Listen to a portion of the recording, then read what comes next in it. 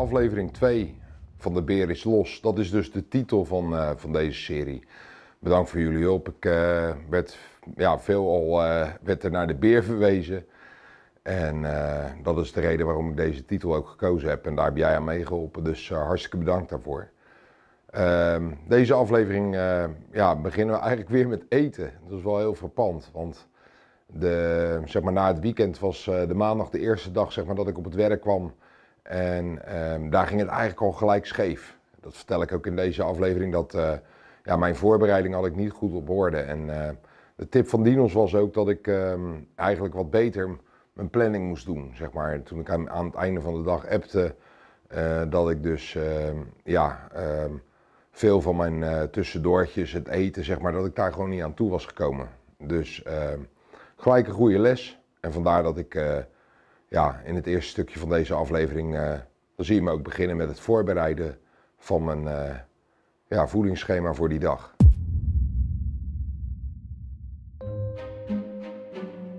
Nou, gaan we weer. Het is inmiddels kwart over zeven en we gaan weer aan de slag vandaag, dus ontbijten. Gisteren liep ik heel erg tegenaan dat ik in het ontbijt, zeg maar, uh, niks had klaar geprepareerd. Ik heb, uh, we doen altijd boodschappen op de zaak. En uh, ja, ik had afspraken en van de ene afspraak liep ik in de andere en ik vergeet gewoon weer te eten. Dus dat was gelijk de eerste werkdag nadat ik met mijn dieet gestart was, zaterdag. Dat ik denk van ja, dat werkt niet. En Dinos die gaf aan van joh, eer, prepareer gewoon je dagmaaltijd. Doe dat s'avonds, bij wijze van spreken, dan ligt al klaar. Ik uh, doe het dan nu, maar ik denk dat ik het inderdaad voortaan s'avonds doe. Dat is gewoon handiger. Boterhamworst blik. Het ruikt naar kattenvoer. Het is zo fucking lekker, heel gek. Ik mag het dus niet. Dus ik smeer voor mijn vrouw twee boterhammen. Kijk, en dan blijft er zo'n plakje liggen, weet je. Normaal zou ik die gewoon in mijn bakken stoppen, maar... Nu stop gewoon weg. Nou, even een bak koffie. In mijn geval espresso.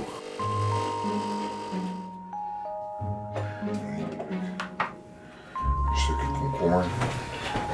Ja. Dit is mijn uh, de middag lunch. Tussendoortje, een tussendoortje voor de middag. En dit is mijn ontbijt.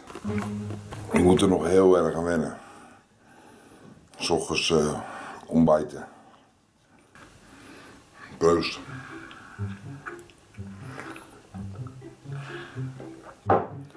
Hetzelfde geldt voor koffie. Normaal drink ik mijn koffie altijd met melk en suiker.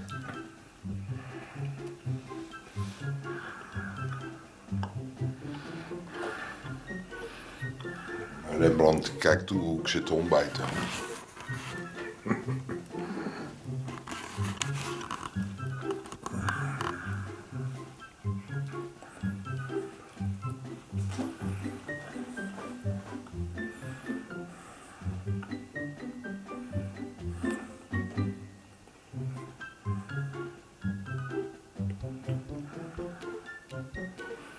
Vandaag een leuke dag voor de boeg. Vandaag een draaidag.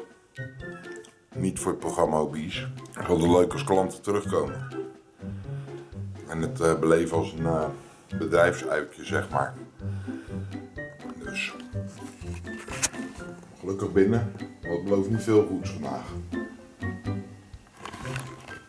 Maar ja, dan mag de pret niet drukken. We gaan verder eten. Ik zie jullie later weer. Doei doei. Nou, voedingsschema dus op orde. Mijn ontbijt net achter mijn kiezen gestopt. En uh, ja, nu dus onderweg naar die klant toe. En uh, tussendoor bij de opnames hebben we dus een pauze ingelast. En uh, collega's die waren er vanaf het eerste uur bij, zeg maar, dat ik startte met mijn traject. En ja, er ontstond best wel een grappige interactie, zeg maar, tijdens de lunch. Lekker te eten. Nou, het is weer lunchtijd, dus we mogen weer een mooie broodtrommel bij me. Vinden ze in Amsterdam leuk, hè? Een mooie broodtrommel. Ik denk dat ze hem daar gelijk weggooien. Maar uh, boterhammetje met kaas, daar gaat hij dan. Vertel eens even, hoe voel je je nu na het eerste week bijna? Nou ja, het is even wennen. Gewoon de structuur zeg maar, van het eten, dat is heel erg wennen. Dat is sinds uh, zaterdag nu. Dat ging gisteren dus fout. Maar ja, dat is ook even oude gewoonte die je moet eh, uitschakelen. Maar ik voel me verder gewoon goed. Ja, een beetje spierpijn door het sporten. En, eh, maar ik heb wel het gevoel dat het eh, de goede kant op gaat.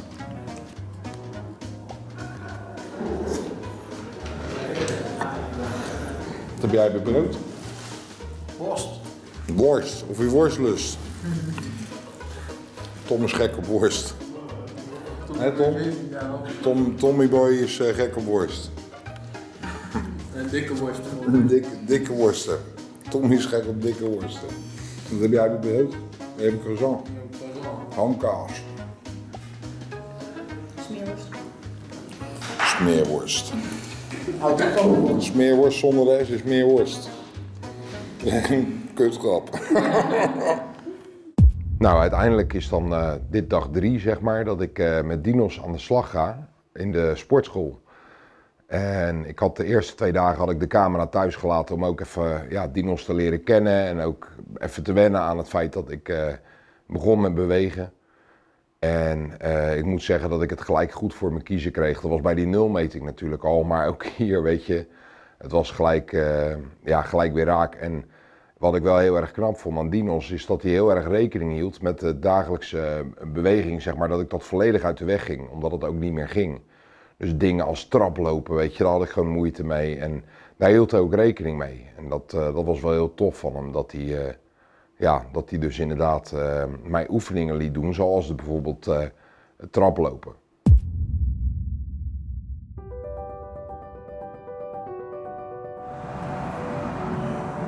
Hier sport ik dus drie keer in de week.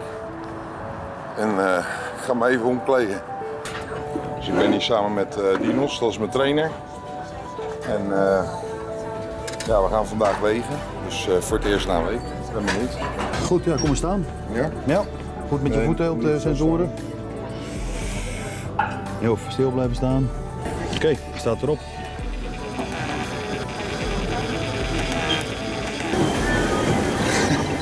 Had hij een beetje, Erik? Ja, altijd blijven lachen. Jazeker, ja.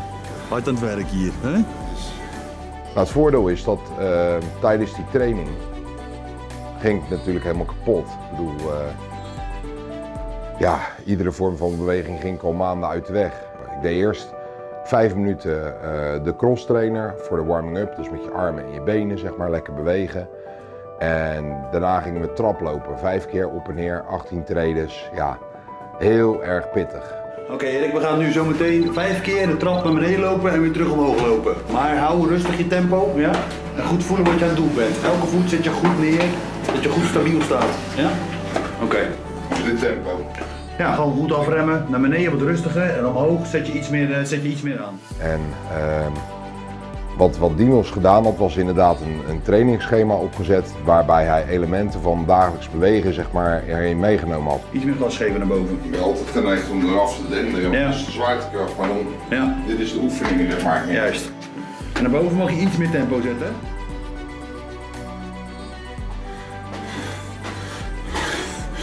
Dat is vier. Goed zo. Eén te gaan. Ademhaling. Verzuur gelijk en eh, ja, merkte dat dat grote lijf me echt in de weg zat. Ook met het naar beneden lopen, als ik ook zie en terugkijk hoe dat ik dat doe. Ik was gewoon bang dat ik die trap af zou vallen, want ik, ik had natuurlijk een enorme uitgeklapte airbag voor me, zeg maar. Ik kon de traptreden niet zien. En ja, het was geen pretje, zeg maar, op een onbekende trap, even trapje af. Vond ik dus ook heel eng. En, en- ook heel erg zwaar, trap omhoog. Dat zie je ook. Ik was op een gegeven moment gewoon leeg na, na de vijf keer eh, dat doen. Juist, goed zo. Blijven aanzetten, blijven aanzetten. Top. Goed zo. Lekker. Getal 5 is in, eh, in het sportschema zeg maar echt leidend. Ehm, uiteindelijk ging ik daarna ook weer squat oefeningen doen met een bal van 8 kilo in mijn hand. Moest ik opstaan. 3, 2, 1, go. En mijn eigen lichaamsgewicht gebruikte in dit geval ook. En, en dan die bal van 8 kilo boven je hoofd en dan weer rustig gaan zitten. 4, goed zo. Kom op. Rustig naar beneden, sneller omhoog. 5. En dat 5 keer 10 met af en toe even korte tussenpozen, geloof van een minuut om even weer op adem te komen. Maar geloof me, na 5 keer was ik helemaal leeg. Op je laatste vijf. Blijf je ademhalen.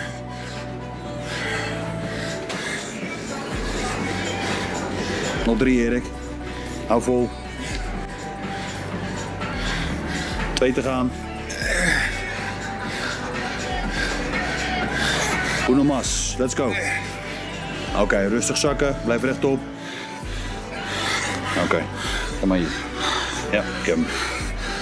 bijna het idee dat ik over mijn nek ging. Dus, eh, maar ja, eh, ik heb het wel doorge, doorgezet, zeg maar. Ik ben ook niet de type wat snel opgeeft. Ik wist dat het zwaar zou worden, en, eh, maar ik wilde ook heel graag veranderen. Ik wilde er vanaf. Controleer je ademhaling. Kom op. Juist, via je neus in. Even focus. Focus op je ademhaling. Gaat weer, hè? Precies, even rustig aan. Ehm, vervolgens eh, ging ik daarna ging ik, ehm, de sit-it row doen. Dus, eh, dus dat is een roeibeweging terwijl je zit en, ehm, en, push-ups. Juist, vastzetten. Rustig terug naar voren. Juist. Goed zo. Denk aan je ademhaling. Kracht zetten. Uitademen. Juist. Juist, voeten goed neerzetten. Plank, hè. Zorg dat je core aangespannen is.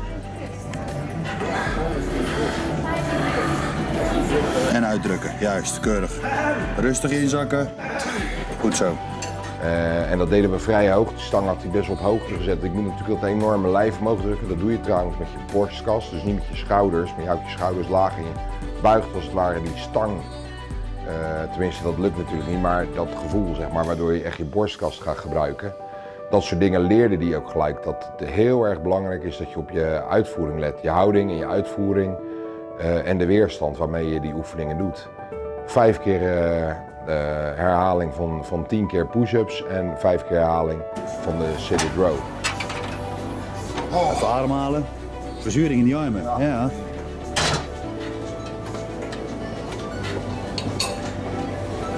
Oké, let's go.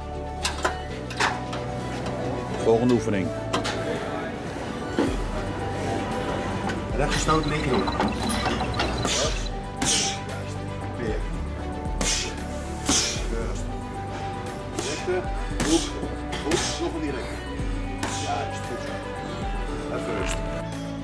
En uiteindelijk als kers op de taart, ja, dan gaan we dus eh, vijf keer eh 10 seconden lang werken en dat maal twee.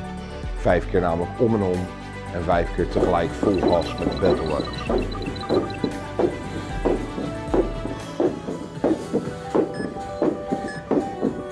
En weer rust. Oké. Om en om. Let's go.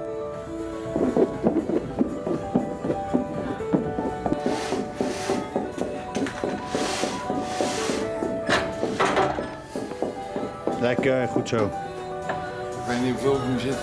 Ik ook niet, hij stopt vanzelf. Oh, oké, top. Lekker hè? Zwaai? Oké, gaan we, let's go, gas. Juist. Ga door, ga door, ga door, kom op. En rust. Dat was hem. Rust. Gaat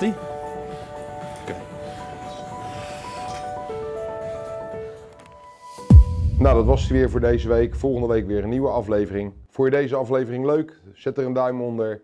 En voor je hem helemaal niks, kan je ook die duim eronder zetten. Maar voor degenen die dus eh, dit deden, eh, misschien wil je hem delen.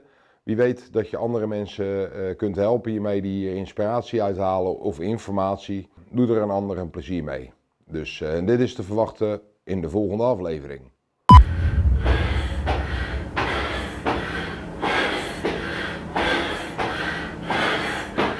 Jezus. God.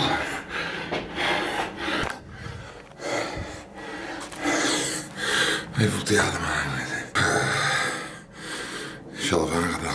We gaan het over een, eh, over een eh, acht maandjes gaan we het meemaken wat ik dan weeg. Ik ben benieuwd. Ja. Zijn we dan nog aan het filmen over acht maanden? Eh, weet, nee, denk ik niet. Nee, jammer. Stuur maar een foto dan. Als je... Een dikpik stuur ik. Nee, nee, nee. Hey Juri, Ja, wat gaan we doen? Helemaal niks.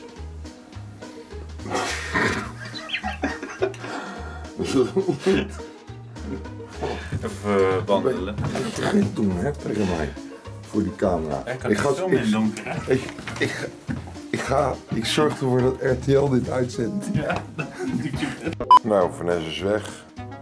Ik had vanmiddag wel ineens trek in roze koeken. Nou, aan de arbeid. Geschilde ananas. Ananas in het Engels. Een ananas. Ja, precies. Wat denk je? Ik zou het niet weten. Maar dat is echt het niet weten. Hé, je dikke 3 kilo man. Goed gedaan, hè? Dit is niet goed kapot. Lekker zeg. Hé, hey, stop. Stop, ja. Nou, lekker hè? Hé, dikke 3 kilo.